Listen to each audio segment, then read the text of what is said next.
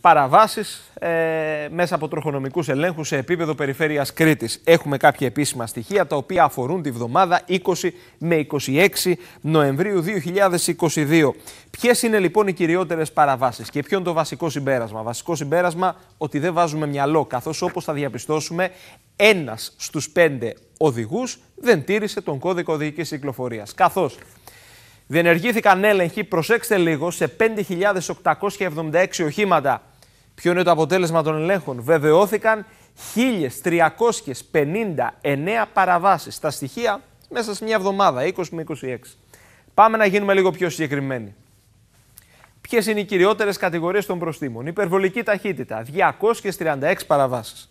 Μη χρήση προστατευτικού κράνους. Πόσοι οδηγοί λοιπόν δικύκλων δεν φορούσαν κράνος, 156. Πόσοι δεν φορούσαν ζώνη, 65. Και οδήγηση υπό την, επίρρεια, την επίδραση είναι ο πνεύματος 61. Ενδυνάμει δολοφόνη δηλαδή. Αυτό να το πω έτσι με απλά λόγια. Λοιπόν, αυτά λοιπόν είναι τα βασικά στοιχεία ε, τα οποία έδωσε η ελληνική αστυνομία και πολύ καλά έκανε και οι αστυνομικοί κάνουν πάρα πολύ καλά τη δουλειά τους, έδωσε στη δημοσιότητα.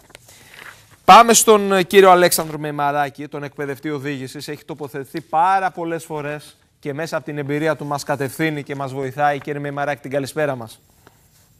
Καλησπέρα κύριε Παναγιώτοπλη και σας ευχαριστώ πάρα πολύ για την ε, πρόσκληση. Δική μας η χαρά. Είχαμε ξανασχολιάσει πάλι πέρα από περίπου 1,5 μήνα στοιχεία της Ελλάς σε επίπεδο περιφέρειας Κρήτης. Από τότε μέσα σε ένα 1,5 μήνα δεν έχει αλλάξει απολύτως, απολύτως τίποτα. Και έχουμε μπροστά μας και καιρικά φαινόμενα τα οποία θα μας προβληματίσουν και στο κομμάτι της οδηγικής συμπεριφοράς, το πώς πρέπει να διαμορφώσουμε την οδήγησή μας. Ένα πρώτο σχόλιο, βλέπω ότι κυριότερες παραβάσεις έχουν να κάνουν με την υπερβολική ταχύτητα, πατάμε δηλαδή τον γκάζι από τη μία και από την άλλη δεν φοράμε ούτε ζώνη ούτε κράνος.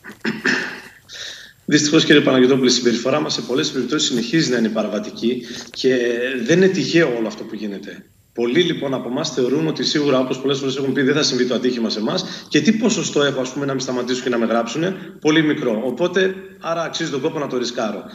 Σίγουρα όμως θα πρέπει και η πολιτεία να τα δει εντελώς διαφορετικά. Η αστυνομία ως ένα, ένα ρόλο σωστό που έχει στην πολιτεία, που έχει χρέος να κάνει, είναι όλη αυτή η έλεγχη που κάνει και πολύ καλά κάνει.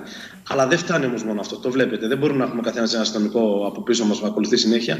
Άρα λοιπόν θα πρέπει να πάρουμε βραχυπρόθεσμα μέτρα και μακροπρόθεσμα. Θα πρέπει να ξεκινήσουμε, δηλαδή να επενδύσουμε στον παράγοντα άνθρωπο που είναι ο βασικότερος, παίζει το βασικότερο παράγοντα σε, μια, σε ένα τροχαίο ατύχημα και να επενδύσουμε σε αυτό, να το μάθουμε σωστά πράγματα από, ήδη από τις μικρές τάξεις του δημοτικού. Από εκεί θα ξεκινήσουμε να χτίζουμε όλο αυτό και μετά θα προχωρήσουμε εννοείται στις υποδομές που το κράτος, η πολιτεία έχει ευθύνη για τους δρόμους, για τις διαγραμμίσεις, για τις σημάνσεις, για τα, όλα τα κακό κείμενα που έχουμε, ειδικά εδώ στο νησί μας που στερούμαστε από καλό οδικό δίκτυο σε αντίθεση με την υπόλοιπη χώρα. Βέβαια, κύριε Μεμαράκη, κάνει... ακριβώς τι να κάνουμε τις καλές υποδομές. Μπροστά μας έχουμε και ένα πλάνο που αφορά τον βόρειο οδικό άξονα Κρήτη. Τι να κάνουμε λοιπόν ένα σωστό πλάνο, ένα σωστό σχεδιασμό, μια ορθή υποδομή από τη στιγμή που δεν μπορούμε να διαχειριστούμε και να κατανοήσουμε βασικές αρχές, βασικές έννοιες. Ακριβώς.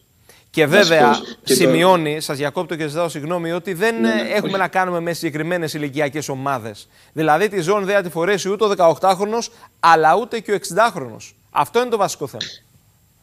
Σίγουρα είναι ένα από τα βασικά θέματα. Εκτιμώ όμως, επειδή είμαι τώρα 25 χρόνια στα παιδιά αυτά, στα 18 χρόνια, 20 ε, έχω δει αρκετή αλλαγή. Είναι, μια πολύ μορφωμένη γενιά αυτή, που ειδικά αυτή που είμαστε τώρα. Βλέπω ότι είναι αυτά τα παιδιά που θα πούνε ότι ξέρεις κάτι, ε, δεν θα πιω ρε παιδί μου για να οδηγήσω, να πάω την παρέα στο σπίτι. Ε, είναι γενικά πολύ πιο υπεύθυνα από ότι όταν ξεκίνησα εγώ πριν 25 χρόνια που είχαμε τα 18 χρόνια που ήταν τότε εντελώς διαφορετικά τα δεδομένα.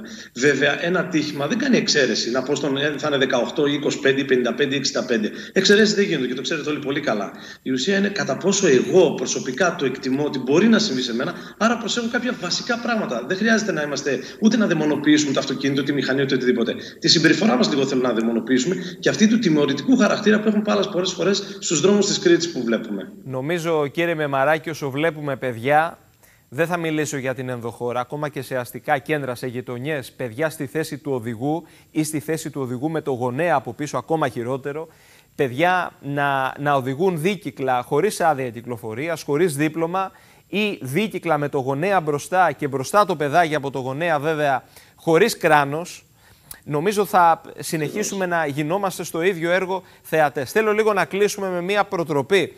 Ε, έρχεται η εορταστική περίοδος που σημαίνει τι θα καθίσουμε σε ένα οικογενειακό τραπέζι, θα πιούν ορισμένοι λίγο παραπάνω, που σημαίνει ότι μετά δεν πρέπει να πιάσουν τιμόνι στα χέρια τους.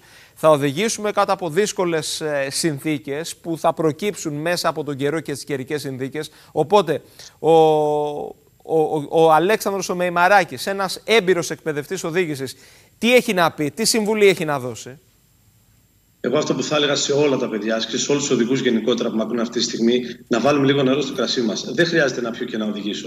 Α με ρημνήσω από πριν να οδηγήσει κάποιος άλλος να γυρίσω στο σπίτι μου. Αυτό δεν είναι η ουσία. Να γυρίσω στο σπίτι μου, να πάω να περάσω όμορφα, ωραία τις γιορτές μου. Ερχόμαστε από μια περίοδο που είμαστε πιεσμένοι γενικότερα όλοι και το βλέπετε στον δρόμο κάθε μέρα.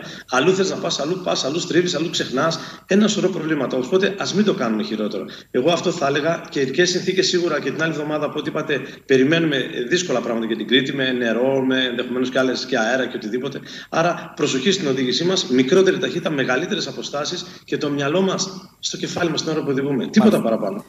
Να είστε καλά την καλησπέρα μας, κύριε Μεμαράκη. Σας ευχαριστώ πολύ. Σας ευχαριστώ πολύ.